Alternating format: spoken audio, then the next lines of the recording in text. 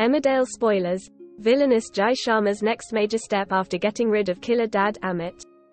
Jai Sharma was more than happy to get his teeth back into business at HOP after Amit's departure in Emmerdale. Last week, Jai made the discovery his biological father Amit is a pathological liar. He saw Amit speaking to a loan shark in a lay-by and later told Eric Pollard everything. Realizing Amit had taken them all for a ride, Jai wanted revenge, and it involved pushing the evil man down the stairs at Holdgate, the same way Rishi died.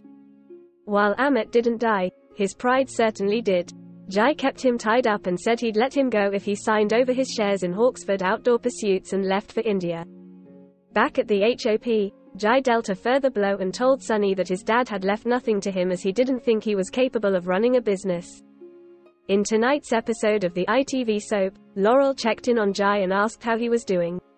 It was obvious he was feeling guilty, but he covered by saying he was thinking about how to tell their children that Amit had gone. At Hop, a stressed Gabby arrived and wanted answers about Amit's sudden disappearance.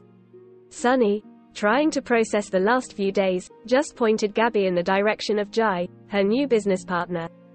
During a meeting, Gabby learnt about Amit's true self and how Jai apparently stepped in to stop the business going under. Painting himself as a hero, Jai told Gabby that nothing has to change moving forward and, unlike Amit, he is someone she can trust. Eventually, it looked like Gabby had accepted the development, but will things stay the same, just as Jai said? Teasing the future for his character, Chris Bisson explained, it has changed something inside him and going forward the way he views life and people and relationships may well be affected.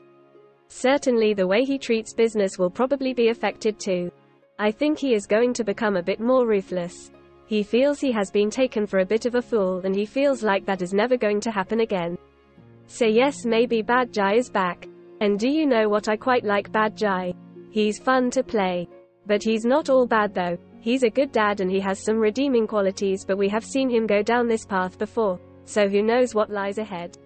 Các bạn vừa theo dõi một sản phẩm của UCR Solar Xin chào và hẹn gặp lại các bạn ở những video